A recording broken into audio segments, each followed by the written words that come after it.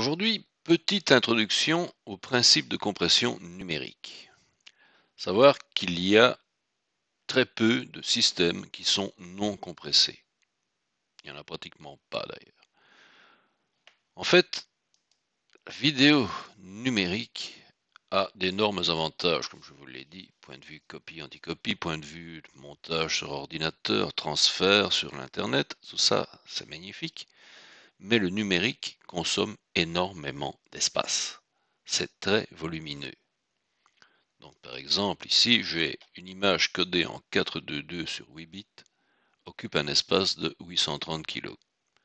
Débit 21 MB seconde. Ce qui veut dire, sur un support que vous connaissez bien, sur un DVD, on peut mettre 4 minutes de vidéo 422 8 bits non compressée. J'ai un autre exemple ici, assez parlant, qui est cette chose. Ceci est une cassette 422 10 bits non compressée. Donc à comparer avec une cassette DV. Donc vous voyez, on voit bien le logo 422. C'est une 90 minutes. C'est une 3 quarts de pouce. Donc vous voyez, la vidéo numérique prend énormément de place. Là où avant, en composant, vous aviez trois valeurs lues instantanément, maintenant vous avez trois valeurs sur 8, 10 ou 12 bits. Ça fait énorme. Ça fait un débit complètement gigantesque. Donc si on veut diffuser et stocker de grandes quantités de données vidéo, il est nécessaire de compresser. L'art de compression numérique, c'est de supprimer certaines informations de l'image et d'en simplifier d'autres. Supprimer certaines informations. On va supprimer ce que l'on suppose que votre œil ne voit pas, en gros.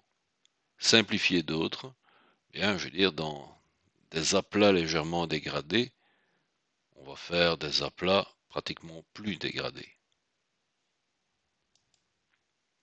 Deux types de compression.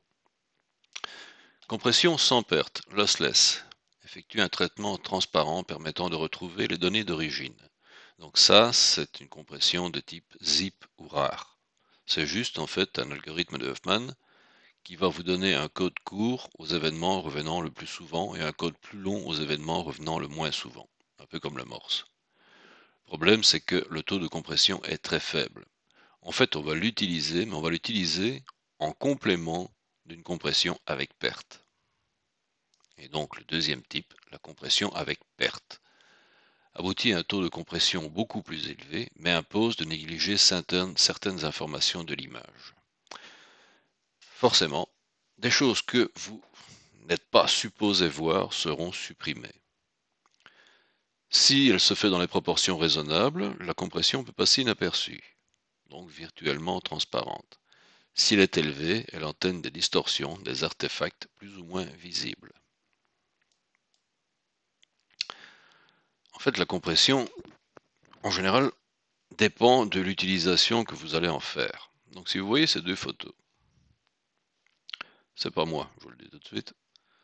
Celle-ci fait 126 kg, l'autre fait 2 méga 13. Si vous la regardez telle qu'elle, il n'y a pas vraiment de différence notoire. Donc dans ce format, tel qu'elles sont utilisées, ça passe. Si maintenant je zoome dans les photos en question, vous avez ici une photo non compressée, vous avez là la photo compressée. Et donc on voit très bien que quand on parle de simplifier certains éléments, vous voyez que des dégradés très fins que vous aviez dans cette partie-là deviennent ici des blocs. De même que certains détails que vous aviez ici, comme le passage franc de l'un à l'autre, deviennent des espèces de franges.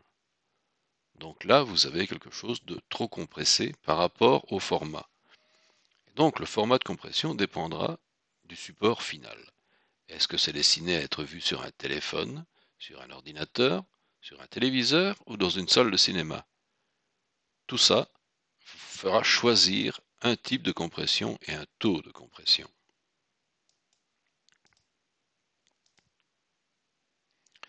Défaut typique, l'effet de bloc, c'est ce qu'on vient de voir sur les photos précédentes. Des blocs de pixels deviennent visibles, aspect mosaïque.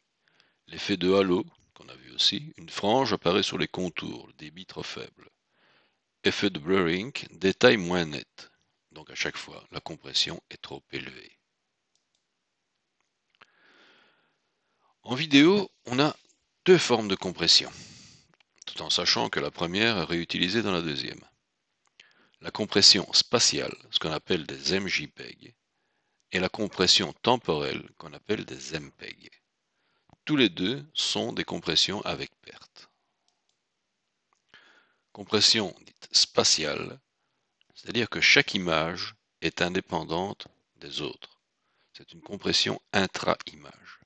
Donc en gros, c'est comme si à 25 images secondes, vous utilisiez Photoshop et à chaque fois vous faites compresser l'image en JPEG. Chaque image peut se décompresser seule. Elle a toutes ces informations.